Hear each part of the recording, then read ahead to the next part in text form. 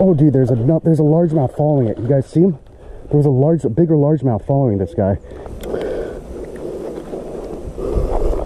It's almost a pound. I think like three quarters of a pound. There's like a one pound largemouth with this guy.